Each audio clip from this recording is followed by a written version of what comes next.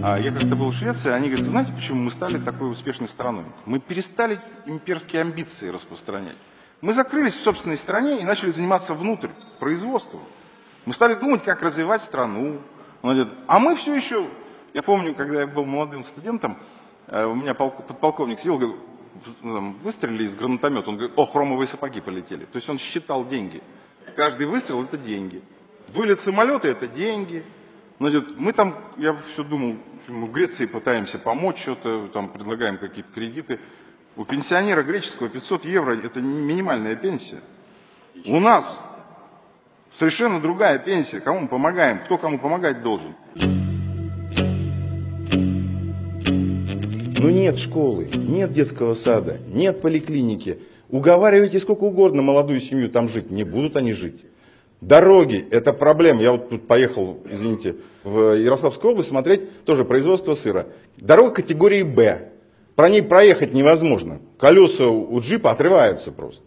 И поэтому сначала нужно понять, что если вы тратите на все сельское хозяйство из федерального бюджета 240 миллиардов, а на плитку в Москве в год 90, вы никогда не добьетесь того, чтобы эта жизнь как-то поменялась в сельском хозяйстве.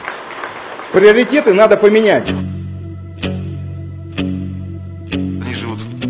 Скажем так, в космосе и друг друга уговаривают. Все говорят, растет сельское хозяйство. Да мы сейчас собрались, чтобы сказать, нет, это неправда. А впереди еще большая яма, потому что нет э, таких вообще форм поддержки, как э, кредиты под 8-9% годовых. Эти кредиты невозможно отдать ни в коем случае.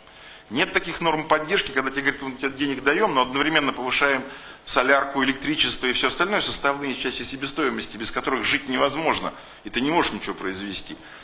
И повышаем еще налоги, а вы знаете, что и Платон, и Меркурий, который сейчас будет введен, и все, все, все это платит кто? Производитель сельхозпродукции.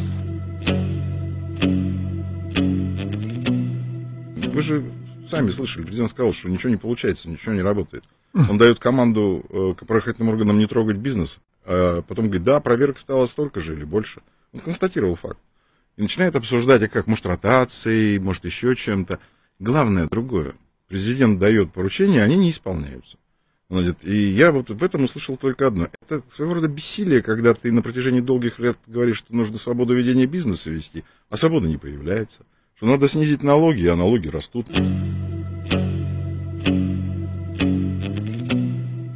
Если вы не даете возможности людям жить нормально, если 40% граждан за чертой бедности, если они тратят львиную долю своих доходов на ЖКХ, на оплату э, ЖКХ и на еду, рано или поздно произойдет взрыв. Платон, а, значит, э, фермеры, которые едут, шахтеры, которые кричат, что зарплату не выплачивают, моногорода, которые встают, а, значит, Москва, которая недовольна реновацией, выходит по, по каждому поводу – это все таки это уже не революция, но это такие народные волнения.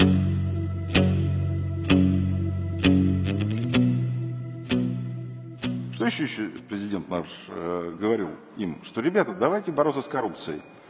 И в этот момент показывают людей, которых точно сажать надо. Все, причем в стране об этом знают.